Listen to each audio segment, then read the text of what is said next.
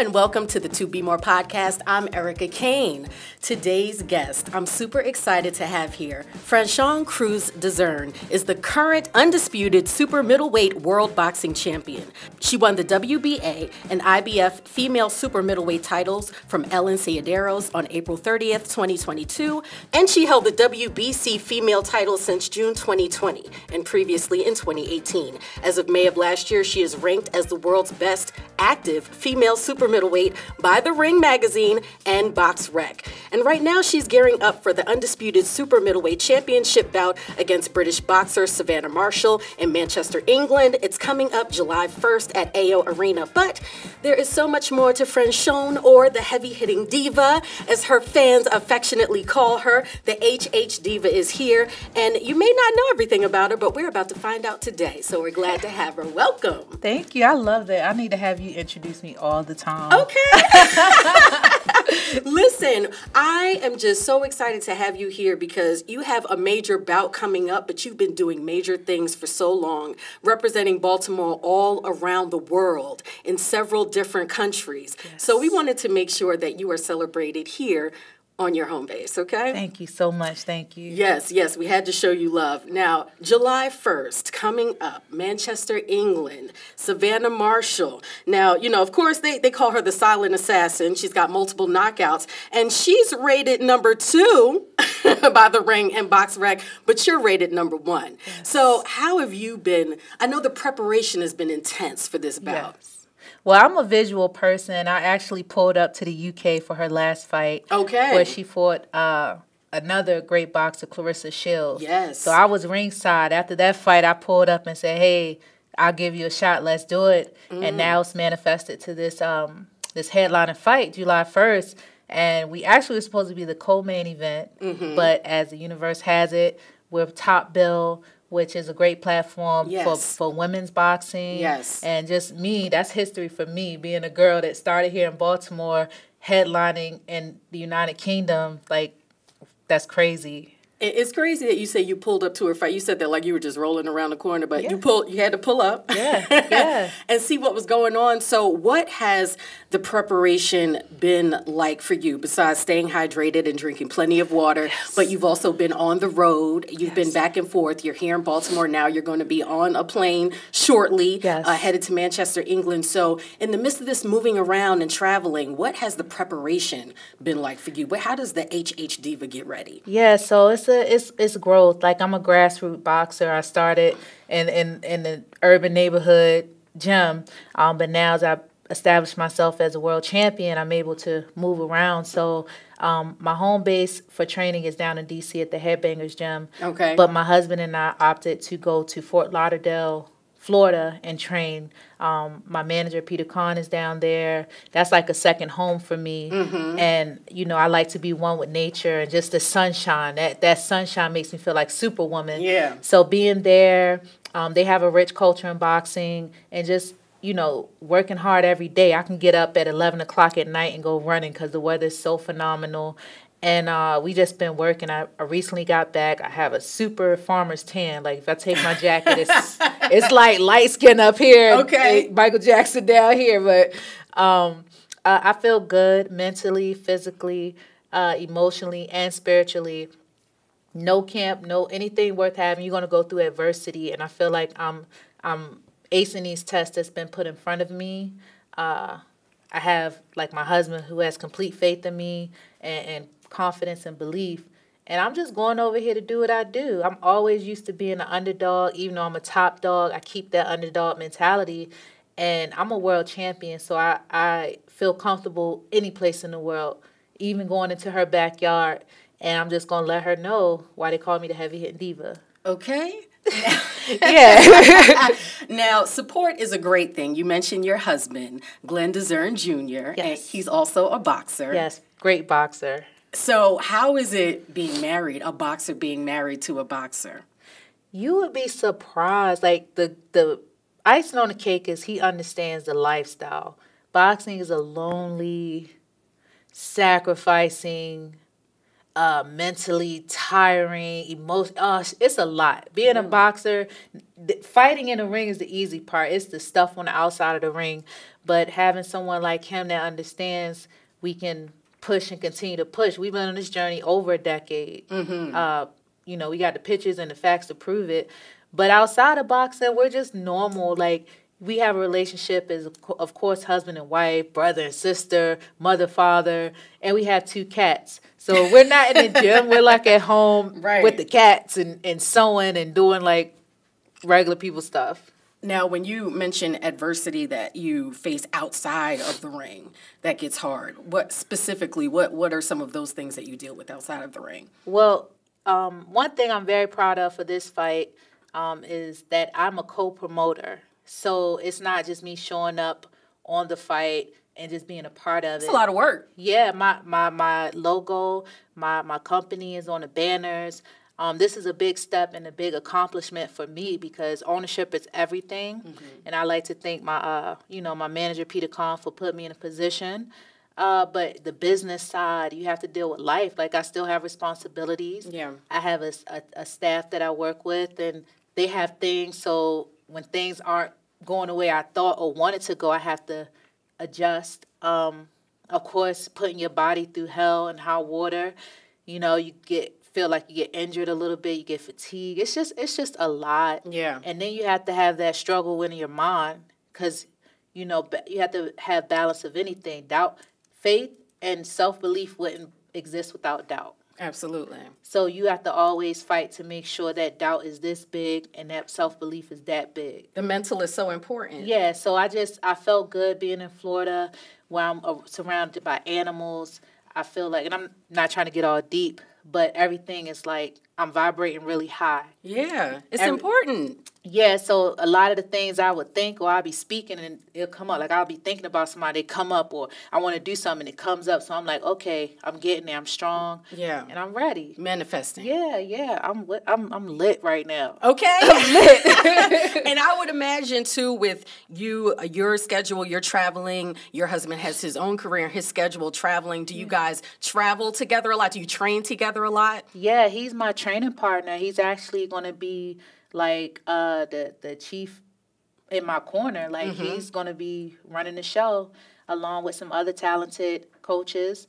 Um, and I'm blessed that we can be on this journey together. It's it switches like when he's fighting. I got my management hat on. I got my promotion hat and everything. Right. And it's all about him. And when I'm fighting, he does the same for me. But he's my best training partner, and uh, he he always wants the best out of me. Even when I give all I got, he's like, "No, it's a little bit more." So, Right. I mean, shoot, I can't ask for a better person than that. Right. And so, Glenn, your husband, is he from Baltimore? Yeah, West Side certified. Okay. because you are originally Virginia Beach? Yeah. Seven, 757? Yeah, I yeah, know about yeah. that Chesapeake. Okay, okay, okay. So, um, so I guess that was, uh, we should thank your husband for the Baltimore connection. And how did that, how did that come about? Yeah, so I actually um I moved here and I grew up here. I'll say Virginia uh made me. Baltimore definitely raised me. VA bred or, or uh, VA born in Baltimore bred? Yeah. Okay. I, I mean, I had I found everything. I found myself. Um, I had to survive. It was just me and my mom, and she, you know, she transitioned in 2016. So I, it was just me and her. I knew nobody. Mm-hmm. I, I had a, my godfather. He said in my life, Milroy. That was like my first friend, and it was a lot. I, I became a, a wife. I've became a college graduate. I Mm-hmm. became the undisputed champion. I became a person that's that inspires the community. Like here in Baltimore, you know, we get such a bad rap, but it, it I really thugged it out from the bottom here, and um, yep. And my husband, when I got with him, he just was an angel. Um, throughout what's crazy, my my boxing career coincides with my mom's health issues. She had uh, stage four renal cancer Okay. And when she she actually got robbed in front of her home i was and i came home from the gym late and In it got- Baltimore? yeah in baltimore in front of her house and it caused internal bleeding. And then from that it went into the kidney issues because she worked so hard she would never let me know like she was suffering from things because she's a mom and she's grinding but it triggered everything. And uh i I actually had went on American Idol prior to that. So we were watching my debut on American Idol from a hospital bed. And then three months later, I went onto the national scene with boxing. So my motto has always been she fights to live, I fight to win. Wow. And from then on we've been fighting. She beat cancer twice and scares and then Glenn came. It's just been a whole journey. And to be able to be in this position that I'm in now, I'm very, very, very grateful and I'm very motivated. And I just want people to know like, don't let things you go through define you in a negative way. Mm-hmm. Let it empower you. Yeah. So that's that's what I'm trying to do right now. So you mentioned American Idol. We're, we're going to get to that in a minute because the talent is multifaceted. So yes. we're, we're going to talk about that. But who brought boxing to your doorstep? Well, music. Music's my first love. I knew I was going to be a famous singer. Okay. And so when did you start singing? When I was nine, and I started writing songs when I was 12. Okay. And I was horrible back then. My mom used to tell me shut up. Like she used to tell me shut up, and then like one day I sung "Mama" on Mother's Day by Boyz II Men, and she cried, and she was like, "Oh." So I was like, "Okay, I'm here." I'm All here. right. She wasn't just emotional because it was a nah, sentimental she was thing. Like, okay. and then I had the makeshift studio. You know, back in the day, you had one cassette player, one cassette player. You right. like, yeah, yeah. So I had okay. all of that, and um, I was in the studio in Baltimore, and two of my guy friends were like, "Hey, you could lose weight." five pounds in one day with boxing. I was like, for real? So they took me to the gym, and my first day I sparred. So I, that's how they got you in. Mm-hmm. I mean, I could fight. I was a street fighter in Virginia, Baltimore. I earned my stripes. Okay, so they already knew it was already a reputation. Yeah, I okay. could fight a little. You know, okay. I had to fight. Right. And then I went to the gym and I ended up sparring the first day this guy named James Berry, and he he was a beast in boxing, and we're friends to this day. Um, he's actually in a different kind of fight for his freedom. Okay. So that's what I carry in my heart also. But okay, me and him sparred so hard they called us Ike and Tina because we were going. You were going at it. we were going to at it, and uh, after it was all done, had a little busted lip, and the coach was like, "Huh, we might got something here." Wow. So this sounds like a movie. It's the truth. I, my life has always kind of been a divine order. Like I don't know where I'm going, but I'm there. okay, so you're singing already. Someone yes. has brought boxing to you, so now you're you you're sparring. People yes. are say, saying that you're good. Yeah. So you're starting to fall in love with it a little bit, or how how are you feeling about it? Is it becoming a passion at this point? Yeah. Well, boxing really um, taught me so much because being a transplant from a different place mm-hmm. to a place like Baltimore is nothing nice. Right. And it gave me some kind of foundation. It it was challenging for me. So I'm the type of person if you say go right, I'm gonna go left, or if it say stop, I'm gonna go. Why do I have to stop? I'm gonna, I want to keep going. Right. So it just gave me something to focus on, and because um, it was something I it became a passion. I was able to use boxing as credits to graduate school early. Mm. So I was a So how how did that? Well, the gym I went to had like an educational component. Okay. And then I went to a I went to a bad. I got kicked out of Douglas. I'm gonna be 100 with you. Okay. I got kicked out of Douglas for fighting, okay. and they sent me to a bad school. Little level, did they know you were starting a legacy. Yeah, they, they sent me to a level five school and I've always been academically gifted. I went to magnet schools when I was younger. Okay. So they saw like, hey, she's smart, but this is a distraction. Right. She needs some guidance. Yeah. So mm-hmm. they was like, okay, boxing. She's committed to this, and they got, how we gonna do this? So they worked it out for me. Very smart. Yeah. My mom, she was like, well, you can't box until you graduate. So I end up graduating at sixteen. Wow. Yeah. Just so, so you could get in the ring. Yeah, and, and by well, I had two proms, but like by seventeen, I was a national champion on Team USA, and I reigned for a long time. I'm a 12 year Team USA alumni. Wow. So you would think at 17 you have all this going on. Mm-hmm. You have a passion that you found. So you would think you would pretty much be laser focused on this. But somewhere in the midst of all that, you end up on American Idol. This was before. So was American Idol first? No, okay. I, I all right, all right. I became a national champ at like 17. Okay. But I was still I just started boxing. It was so funny. They thought it was such a unique combination that they sent a, a American Idol van to my gym. The first one crashed, and then they sent another one to videotape me. Like right. they just thought it was so cool to get your story. Yeah, mm-hmm. yeah. And then, um, you know, when I went on American Idol, this is when they took like super young people. And they didn't say I was horrible. They didn't say I was bad. It was basically you you need to develop. But Simon Cowell from the UK was like, Well, you can't be good at everything. And then I told him when I left, like, if I'm not the American Idol, I'm gonna be the middleweight champion of the world. You did I, say that. and I hadn't even fought in a national tournament yet. Yes. You know? you did say that. I have the quote, Simon's and yours. Yeah. and and it came to pass. Can't be good at everything. You know what I mean? And you're a good boxer. Thank you, y'all. okay, thank you. Nice to meet you. Keep working on it. I told y'all if I don't beat American Idol, I'm be the next middleweight champion of the world. I'm super middleweight and I could still be middleweight, you know, but I I be amazing myself, man.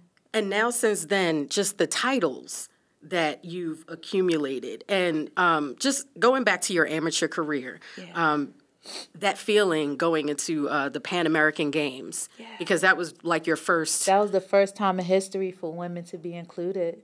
Um, what's crazy, like to see women headlining in different countries, like Madison Square Garden and now AO Arena, O2 Arena. Um, when I started, women, this women's boxing, none of this was happening. Women's boxing wasn't even in the Olympics. Right. So like my journey contributed to that because my weight class was in the Olympics due to mm-hmm. like how the I represented United States. We were performing well. You got girls from China performing well, UK. So it was like, wow. Now I look back and you bring it up. I'm like, yeah, I never had any idea what happened. It just happened and I just stuck with it.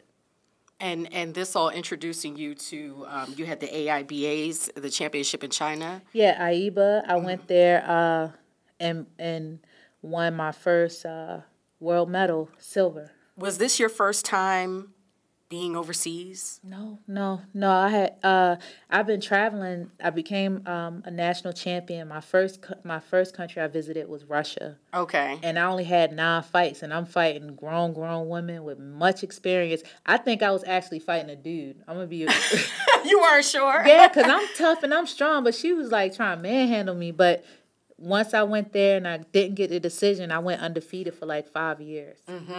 And I went there and I've traveled South America, Canada multiple times, and then I went to Russia a few times, China, and yeah, crazy. You're so comfortable with it now, and you say, you know, I feel like I can fit in anywhere, wherever I go. What, were you feeling like that your first time on a plane, being from VA, being from B-more? Were you going with that same gusto? Were you a little intimidated? How are you feeling? I, I end up getting a nickname ambassador because I love people and sports and music is universal and I think that's what I was born for to to uh, spread love and just connect with people. Because I think especially with technology and things that's going on we get so disconnected Yeah. that we're human. We supposed to communicate with animals and you know the trees and stuff but I became the ambassador and everywhere I went people didn't even speak English wanted me to sing. You know, I actually went when I went to China, South Korea gave me a gift, and you know, like those Korean countries, they're not supposed to speak to other countries mm. because I think it's communist. Don't quote me, but like the either North or South Korea, they don't speak to other countries, mm. and they gave me a gift, and I'm like, whoa, what is this? What is this? So. Yeah, I, I just I just get in where I fit in. Yeah. wow. And so you have this in- incredible career just as a teenager alone and as an amateur, and then you start your professional career. Yeah. And you have your professional debut. Um, you mentioned uh, Claressa Shields earlier. Yeah. Um, so now you had that fight, right? Yeah. That was a loss, right? it was random. Yeah, it was, it was yeah. And so now you've you're coming off this incredible high of a career and now you have this loss and you're like okay this is my first like you know professional bout and now i have this loss what's the mindset after that Well, you know what? i, I was I was taking one for the team, honestly. Okay. Because I had a two and a half week notice. I mm. actually this was 2016. I actually was going to prepare for the 2020 Olympics because I was an alternate for 2012 and 2016. Okay. And when I have my mind set on something, I want to do it. right and alternate twice in a row you're like we, we got to get it this I time was alternate at 165, and then I moved up to 178, and I medaled twice in the world. So I know I'm one of the best in the world. Come on. And I went heavier. so uh, she had 13 girls turned her down. And me and her been on a team, Team USA for a long time. Wow. So it's like, I was like, and my mindset honestly was like, if I don't take this fight, one, one, it's kind of messed up. She just won another gold medal, and nobody want to fight her. How dare you think you're the best if you don't even want to fight with the best? Yeah. So I got two and a half weeks. My coach, my husband, they really wasn't feeling it, but I told them just get me ready as best as I can. Mm-hmm.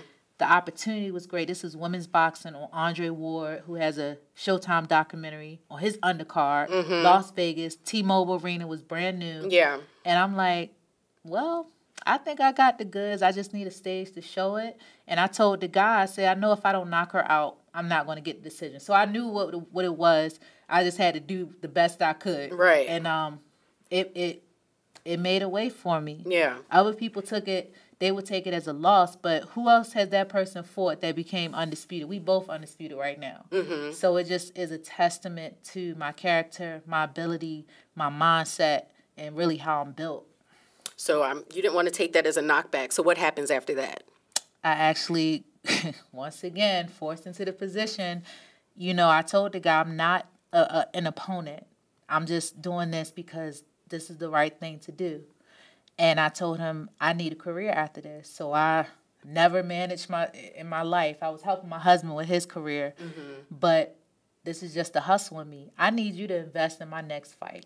So I had got, you know, after I fought, I took that extra money I made and I promoted my own fight. Found my opponent, got on the card, did what I had to do. Won that fight, did the next one, and then I just started moving myself. I've been self. Was that the Cornejo fight? No, no, no. Okay. This was a- couple of them. Then I got called for the Cornejo fight, Okay. and I said, "Okay, let's do it." Okay. Had a bum shoulder and everything, and we just took it. Went out to Vegas. I said, "Let me try my luck." And won Yeah, yeah. with a bum shoulder. Yeah. That's not easy. Listen, I've had a shoulder. I've had a frozen shoulder. Okay, that will take you all the way. Yeah. you don't realize how much you need your shoulder until yeah, you don't have your yep, shoulder, right? Yep, yep. So to win a bout, wow. yeah. Okay. and so you won that fight. So now there's a momentum here. And eventually you have the opportunity with Golden Boy. How did that come about, Golden Boy uh, uh Promotions? Yeah, shout out to my OG Bernard Hopkins, who's a, a a great mentor in my life. I just spoke to him on Father's Day. Okay. Um, you know, when you sit down for these fights, they do fighter meetings and they talk to you, basically trying to get a feel for you. And he was just so enthralled in, in like my whole aura. And everything I told him I was going to do, I did basically. Yeah. And his his journey, my journey is parallel. He lost his first fight. He managed himself for a majority of his career. So he just saw himself in me. And then he he's like, come up to Philly, you and your husband, I want to meet with you. So we met like in February of that next year. And then like April, I think, I don't know, April, whatever my next fight was, he had got me signed with Golden Boy. All right. So, um, you know, you have the fight coming up in London. Um, you've had just quite a few fights. Even um, the fight that you had with Jimenez that that was kind of scandalous, just because she had the whole issue where Testosterone. there was a win, but then of course she failed the drug test. And, I then- knew I knew she would fail it. I knew. I Really? knew, yeah. But you weren't verbal about that before the fight. I, you know, you know, you can't say certain things without. I didn't want to sound malicious, but it was the elephant in the room, Okay. And I'm not stupid, and everybody else plays stupid, but I knew what was up, and they put me in a position that if I didn't fight her, they were going to take my belts, and nobody's taking anything from me, Oh, right. you know. right. So I had to do what I had to do. Okay, so the testing came about. Was it kind of a standard thing, or did it come about because there was some speculation that something might I be going on here? it. I fought. At this time, I still was managing myself, so I'm going against my promoter. Not going against them, but I had to fight for myself with them. Against the advice of is when No, just Okay. like demanding it. Because Yeah. you know, and I'm gonna be honest with you, being a woman, especially a woman, woman of color, sometimes people don't want to listen. It's just like you should be happy you got this opportunity. I'm like, you know what? I hear you, but I'm not fighting without drug testing. I'm not fighting without this, that, and the third. So Mm-hmm. they were gracious. We got it. It was three tests. She failed one of them and passed the other two.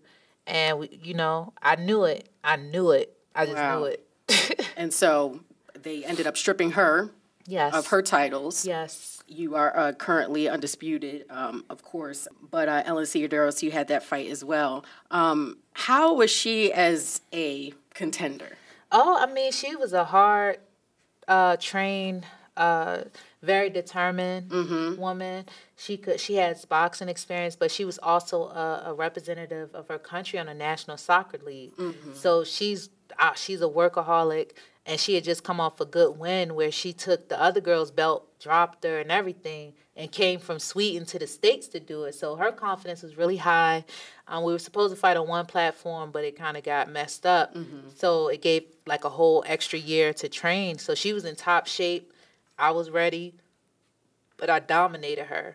And uh, if I if I would have took my foot off the gas, she definitely would have tried her hand. It wasn't a walk in the park because she's a great a great competitor. Yeah, But I know how I'm built. right. Okay. and now the fight uh, that you have coming up on July 1st against Savannah Marshall. Um, of course, um, the DMV, Baltimore, excited for that. Um, boxing has such a huge fan base in this area. Yeah. Uh, Baltimore, Washington, D.C. I mean, I remember years ago doing radio, and uh, the, these huge companies, they would drop these huge contracts to, to have radio people fly out and do the fights just because, and it wasn't just because our shows were so great, but it was because the pay per view numbers were there, the mm-hmm. numbers were there. Like the fan base is just so serious in this area. Yeah.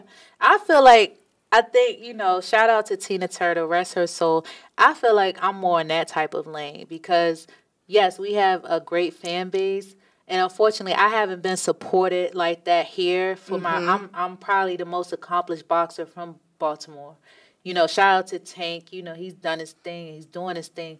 But when you talk about accolades, now I ain't doing no pay per view numbers yet, but if you talk about accolades, and I was prior to him, I've done everything except go to the Olympics.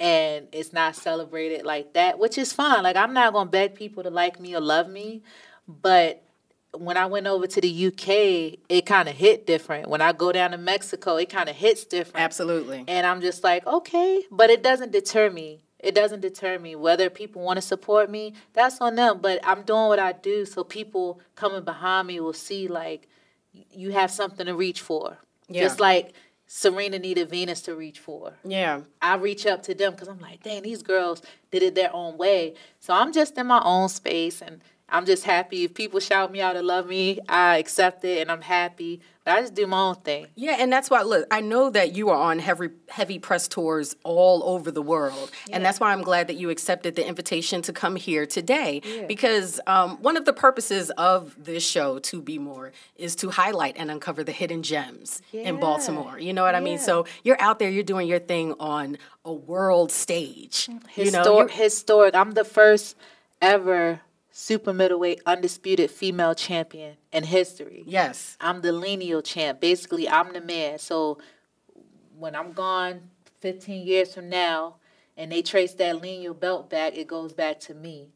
I've been the first ever female to compete in the Pan American Games. I've mm-hmm. done so many firsts in history, not just in Baltimore, not the DMV, the world. Yes. But sometimes people don't celebrate you till you're gone. So that's why I just keep working. They'll catch up. I've always been like that, offbeat. And I've seen things things I'm people doing now, I was already doing it or thinking about it back then. So people catch up. I'm just doing my thing. Yeah, yeah. well, you know, that's a good attitude to have because that helps you uh, keep the momentum. Yeah. And honestly, um, you know, there is so much love out there and you wouldn't even know it. Yeah. And sometimes people just want to be aware so they can support you. Yeah, You know and, what I mean. and? I thank you for having me. And that's what I that's one thing and my husband always tell me like people don't know. Some Mm-hmm. people don't know. Mm-hmm. So I just like trust me, I used to be in the schools all the time. I put in work. Yeah. And I just do it. And what's for meant for me is always gonna be for me. Yeah. Once I go over here to uh, Manchester and dominate Savannah Marshall and remain the undisputed champion of the world, I'm gonna come back to Baltimore. okay. I know down the line I'll have a parade. I'll have a day after me. I'll have a whole bunch of stuff. But I just continue to work until those things manifest.